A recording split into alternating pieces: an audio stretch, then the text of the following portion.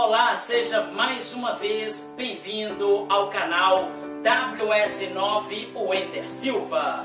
Hoje eu vou ler para vocês as bênçãos lançadas no Monte Gerizim.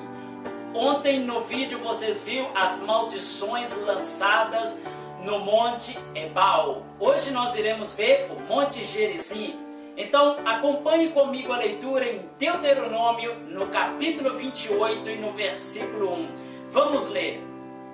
E serás que se ouvires a voz do Senhor teu Deus, tendo cuidado de guardar todos os seus mandamentos que hoje te ordeno, o Senhor teu Deus te exaltará sobre todas as nações da terra, e todas as bênçãos virão sobre ti e te alcançarão, quando os ouvires do Senhor teu Deus.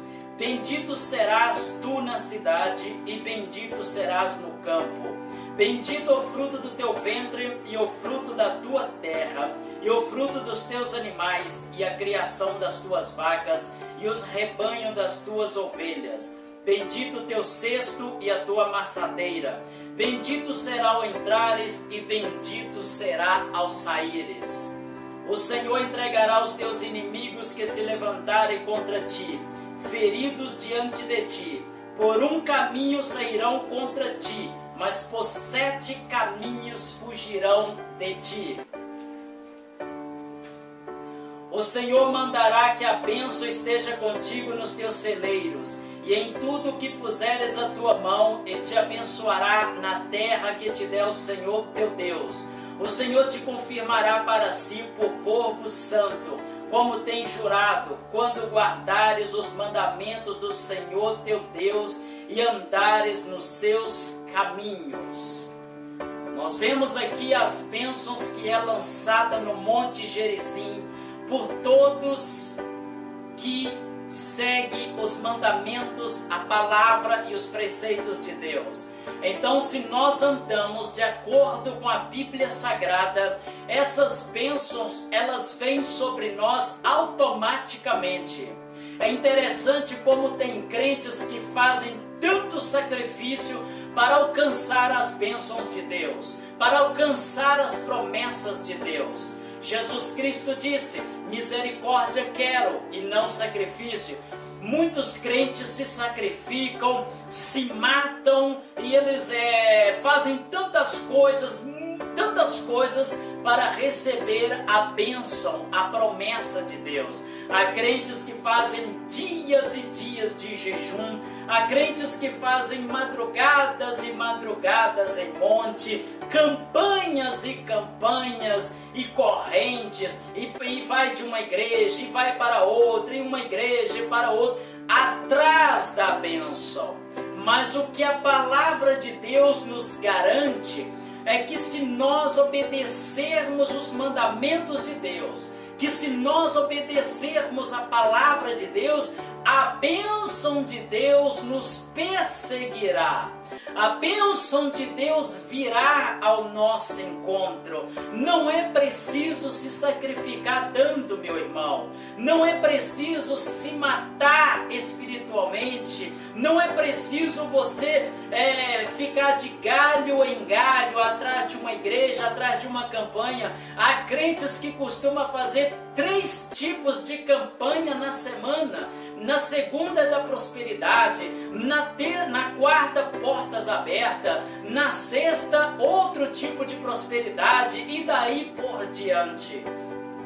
E a Bíblia nos garante é somente obedecermos a palavra de Deus e as bênçãos ela vem ao nosso encontro. Não é preciso você correr atrás da bênção, ela virá atrás de você quando você praticar a palavra de Deus da forma que deve ser.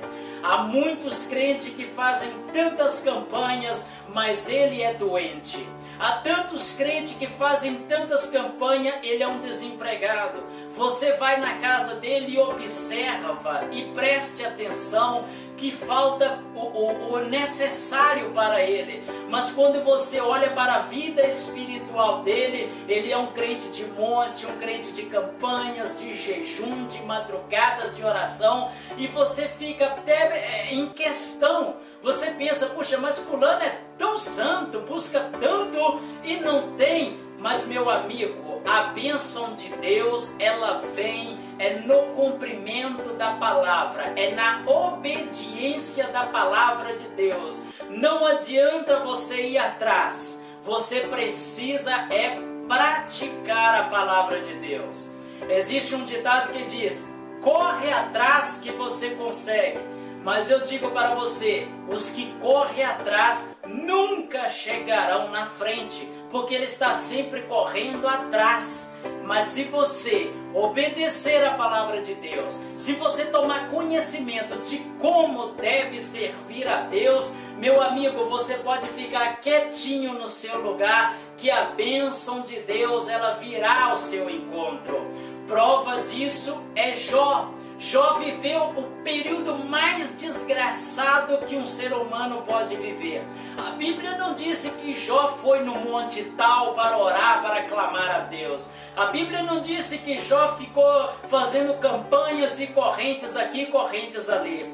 A Bíblia disse que Jó somente foi temente à palavra de Deus. Ele foi um cumpridor, um obediente na palavra de Deus. E no final de sete meses, segundo alguns estudiosos, que a prova de Jó durou sete meses, no final do sétimo mês, Jó estava ali e Deus apareceu para Jó aonde Jó estava. A Bíblia não disse que Jó foi para o Japão, foi para os Estados Unidos, veio para o Brasil atrás de bênção, não. Aonde Jó estava, aonde aconteceu a desgraça com Jó, ele ficou em busca, à espera da bênção, à espera do cumprimento. E quando você lê o livro de Jó, Jó está dizendo: Senhor, eu fui fiel, eu fui justo, eu fui isto, eu ajudei o órfão, eu ajudei a viúva, eu ajudei o necessitado. Jó estava lembrando Deus de quem ele era na presença de Deus.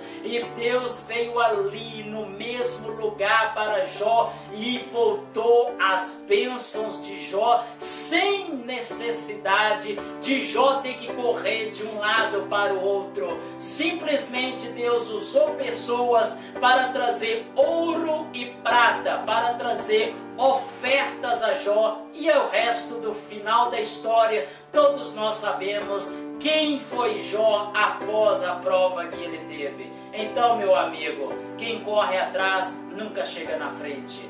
Esta é a sua palavra de hoje. Te vejo aqui amanhã com mais uma palavra de Deus.